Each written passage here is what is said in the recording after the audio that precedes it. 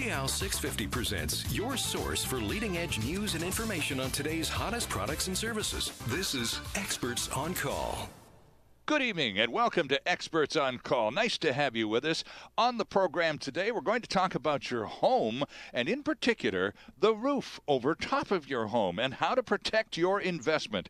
We are joined in studio by Sean Lang, president of Interprovincial Roof Consultants. Nice to see you again. Great to see you as well. Thanks, Sean. Uh, just a couple of days into fall 2014 Yeah. and uh, Yeah. got a little damp in a big hurry, didn't it? Yeah, yeah. it's, Holy it's almost cow. like somebody flicked a switch. No kidding. And Yeah. we have had the just incredible luck this summer of 2014, one of the best on record. Certainly, and I've been here since the 70s, and this is this summer was just one of the best I can remember. Yeah. How did that turn out? It must have been a great summer for the entire construction industry, including all you roofing people. Oh, for roofing, it's been awesome. I mean, obviously, the one of the main aspects of roofing, or one of the, the conditions that a roofer really uh, appreciates, is good weather. Yeah. Uh, you know, he can do his roofing without any risk of water getting into the system while, or into the building while he's tearing off the cap of a building. Uh, so this summer has been absolutely fantastic that way.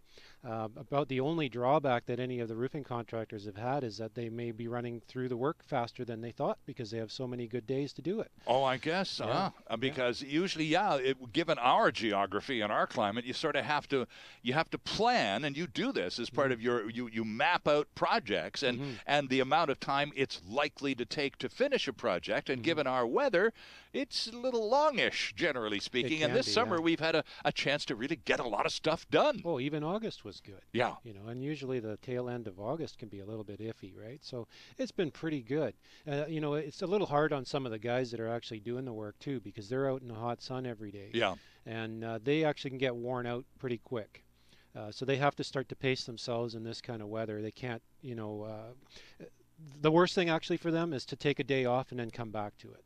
So once they get in conditioned to the weather and start to wear the proper headgear and wear as much clothing as they can, which is tough on a 30 degree day. Yeah. You know, I never understood these guys that take off all their shirt and cap and everything and they go out in the blazing hot sun all day long and they get just cooked. Yeah. You know, it's actually smarter to wear really light long sleeve shirts and and even wrap something over your head. I used to take an old spare t-shirt and wet it and wrap it around my head hmm and that kept me nice and cool on the really hot days.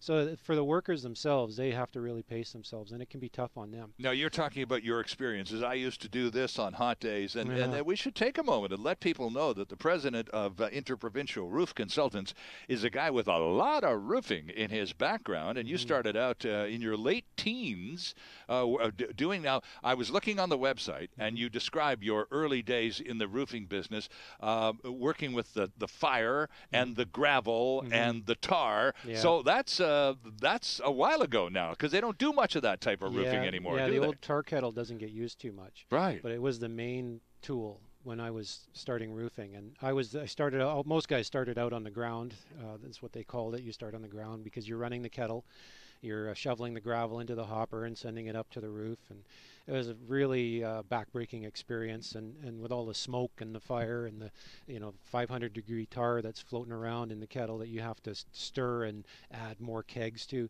it was pretty pretty rough. Especially on a 30 degree afternoon. Yeah, right? yeah, yeah. So when I made the leap up onto the roof, I was really appreciative that I get to work in the breeze because now you've got more wind Oh, blowing that's on true, you. of course. Yeah. But it's also that much, it's a couple degrees hotter up on the roof, sure. right? And then you're walking onto the hot asphalt roof that you're laying down. Mhm. So there's other aspects. You do have more of a breeze, but you also have this extra heat that's coming on you. So I do know what it's like to be working in that condition. And, and how much difference over the years has that made? That you've you've now founded this company, Interprovincial Roof Consultants. You do big leagues to work for for major projects and individual homeowners.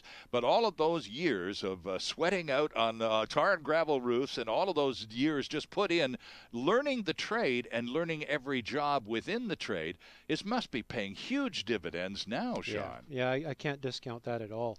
Um, I, you know, when I was approaching my 15th and a half year of roofing, and I was wondering what I was Not that you were counting or anything. No, not that I was counting, but my body was. Uh-huh. And uh, I, I started wondering, you know, what am I going to do with the rest of my life if I'm at this age and I'm already starting to experience these physical pains that were coming on? Mhm. And uh, the consulting inspecting aspect of the, our industry was fantastic because everything that I had learned and every all the mistakes that I'd made and all the mistakes that I've seen other people make and I used to do a lot of repair work so I would go out and fix other people's mistakes Of course, right, yeah. which to me was the best learning experience because Mhm.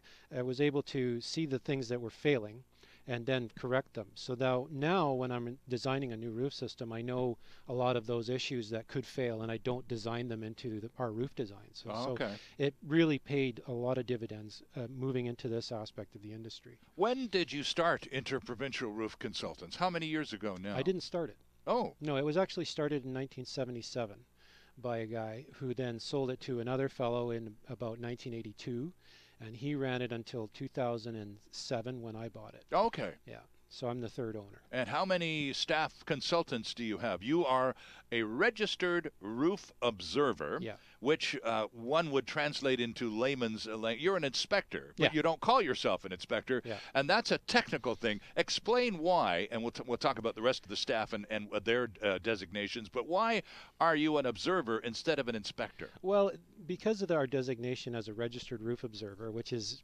provided to us uh, after passing tests and everything with from the Re- Roof Consultants Institute in the states, Okay. which is actually RCI Inc. is their technical name or their official name, but it's basically the Roof Consultants Institute, and they they offer up this designation to people that qualify and pass the tests and maintain um, annual learning credits. So we have to continually learn and educate ourselves. Um, and because we're registered roof observers, we like to call ourselves roof observers Right. because that is the term for what we do. But it is essentially just inspecting. But I, I guess their take on it is that we can't see absolutely every single thing that is done on any one particular roof job because we're floating from job to job. Right. We're not there every minute of every day.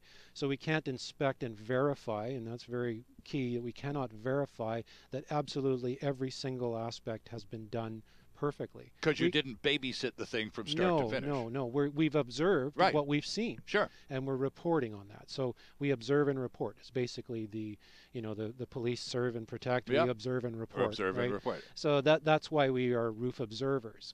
Um, but essentially, it is the same as an inspector. We're going up there and we're we're making sure as much as we can that the roof system is being installed to the specification and to uh, proper roofing standards uh, for British Columbia. Right now, Interprovincial Roof Consultants. Uh, well, have they always been in Cloverdale, or when you bought it, did you move the operation to Cloverdale? No, we moved. We uh, we were uh, on the Surrey Langley border um, in a leased out office, uh, which was owned by the previous owner, and then we bought a building in Cloverdale and we completely renovated it, and then we moved our business in there. How many uh, observers do you have on staff right now? There's five of us. Okay. Yeah. And um, what's what is the bulk of the business? It's you're a consultant, you're not a contractor, and that's really important to put out there. And we'll probably do that a couple of times Mhm. during this conversation. But what's the difference then between a contractor and a consultant? We don't do the actual work.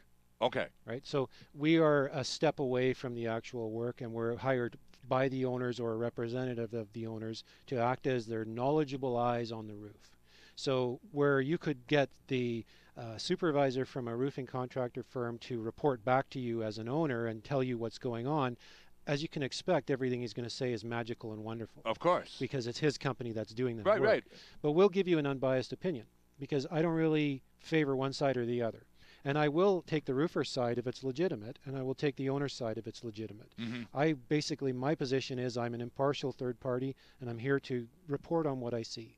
So the owners will hire us to come in and give them a, a report on the activities that are going on in their building, let them know if they're getting the materials that they're paying for, if it's being installed the way that they're expecting it to be installed, if it's being installed well, and if it's not, to tell them that it's not being installed well, Right. and then to deal with the roofers on correcting that. Have you ever been in a situation whereby, uh, and we'll talk about the process of how things go to tender, and and eventually someone wins the job, and they begin to work on the job. Have you ever been in a situation where you've been called in, perhaps uh, halfway through a project, and and uh, gone up on the roof, and, and just observed some pretty uh, bizarre uh, practices, and had to had to actually stop people and go, I don't know where you learned how to do that, but that's the not, not the right way to do that. Mm-hmm. And my client is going to get really upset if you continue to do it the wrong way. Yeah. So can you stop it and back up and do it right from the get-go? That all depends on how the contractor was hired and how we were hired because there's there's there's legal implications that come into play as far as contracts. So if if we're brought into a project and the contractor has provided his own scope of work and he's been hired independently of us, Right. and we're then called in after the fact, that contractor is is hired to do the work as per his scope of work, which may be very minimal. Yes, we'll come in and replace your roof with a, a torch-on roof. Mhm. That doesn't tell you much. It just tells you they're going to take your roof off and put on a torch-on roof, but it doesn't tell you to what standards or how they're going to do it or what underlayment they're going to use or, or, or protection board or whatever they're going to use. Uh, Is there going to be insulation and how thick and, and all this sort of stuff. So we're we're at the mercy of of what that situation What the is. contract terms are too. Basically. Right, right. Yeah. What's a torch-on roof? Uh, Torch-on is your uh, styrene butadiene styrene roll membrane, SBS. So Torch-on is applied in, in two layers. Basically, it's a rolled roofing that gets installed over top of usually a protection board Okay. or an insulation, or sometimes directly over the deck, the wood deck. Um, and then so the base ply goes down, and then a secondary cap sheet layer goes on top of it. So whenever you see a building that has that very uh, fine granule surface on it, almost looks like a sandpaper that's Right. colored typically brown or gray Right. uh, for our climate, um, that would be a torch-on roof. system. Are they usually flat then, Sean? They're flat in the sense that they're not a steep roof Right. where they're relying on shingles, but they do go on slopes and, and flat roof systems. Okay, just uh, I just I, I, the word torch on kind of Mhm. I had to stop you there and just go. Wait a second. What does Yeah. that mean? It's it's installed with a torch, basically, Right. er- ergo torch on. But Right. so they unroll the rolls and they heat the rolls as they're unrolling it. Oh, okay. And by heating the roll, it causes the back of the roll to liquefy, and the surface that they're heating up may be um, uh, the type of surface that can be liquefied as well. So the, they're bonded together. Oh, they're I actually see. welded together by doing that. Okay. So they're torched together. Uh, back to the, the to the question about what is the bu- what involves uh, the bulk of your time at Interprovincial Roof Consultants. You're not a contractor. You're a Mm-hmm. consulting firm. So what what what do you and your teammates spend most of your time doing? Well, I personally spend most of my time in the office. Um, I'm the guy that's basically steering the ship, and I'm managing the clients. I'm writing the specs, um, and, and I'm overseeing all the jobs that are underway. Uh, the guys that I have, uh, I have another guy that does condition reporting primarily, almost. Uh, he's he runs out and he does those reports on your roof that tell you where your roof is at, Okay. uh, what you need to do if it needs repairs, and if it needs replacement, he'll recommend replacement, which means that then that job comes to me and I would start writing a spec if you hire us to do that. Okay. Uh, the other guys do the field inspections, so they're the actual guys that are running around town, going from job to job and uh, doing the day-to-day inspections on the jobs. How frequently do you, if you take on a project and uh, you're going to see it right from start to finish, once the actual work on the roof, because you've got to you've got to submit a design, it's got to go to tender, some roofing company has to win the bid. Once all of that process is done, and you're actually you've got a crew out there putting the new roof on or doing the repair work, how much, uh, how frequently would you show up? To observe the progress of that project. Again, that depends on how we're hired. Uh, we could be hired to come out every day, Okay. uh, which sometimes is a bit redundant because the what happens from one day to the other may be a minor amount of work depending on the weather. So we could show up on a, you know on a consecutive day and there's not much to write about. Um, on other jobs where they have a large production crew of 25 guys, hey, we need to go every day, and we sometimes need to go twice a day. hmm So typically it depends on the size of the job, and it's paced out at one site visit for every 3,000 square feet of roofing material installed. Okay. So we use that as a main gauge on how many times we're going to come out, but it'll vary even when we have that um, that increment, because if there's more inspections needed in the beginning of the job, we have to go a little bit more. If the roofer doesn't understand the job, um, turns out the workers that were put on the job aren't very good, and all of a sudden there's problems, we're going to need to be there more often. Right. Of course. So that that periodic rate, which you, you know in a perfect world would be once every 3,000 square feet, might get shortened up in the beginning to once every thousand square feet, Mhm. and it might get spread out a little more towards the end, where they should have it under control. Right, right. As a confidence in their Yeah. ability to do it right it Exactly. grows. Okay. But this really goes back to who's selected as the contractor. Um, the contractors that we work with regularly know what we want. They know what we want to see. Mhm. So it ends up being a more more to that one per 3,000 square foot increment because we know that they're going to be. You know, we've worked with these guys before. They know what to do on that roof system. So it's a matter of just catching their little mistakes, which are usually unintentional, but they happen and we re- report those and then they fix them and then so on and so forth. Our guest on this episode of Experts on Call is Sean Lang, the president of Interprovincial Roof Consultants, and it is the fall. Hard to miss, isn't it, huh? We've been in fall for what, less than 48 hours and we got to break out the pontoons. What does that mean to a roofer uh, and, and a consultant in the roofing business, to, to say nothing of others in the construction business? We'll get more tips on how to handle fall and prepare for winter when we return here on CISL 650. This is Experts on Call on CISL 650.